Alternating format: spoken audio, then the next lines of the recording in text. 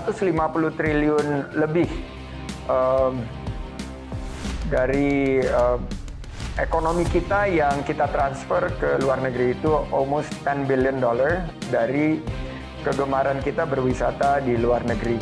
Uh, dan jika dilihat uh, dari produk-produk ekonomi kreatif kita tentunya banyak sekali terutama yang ada di e-commerce uh, yang um, merupakan uh, dominasi dari produk-produk uh, luar negeri.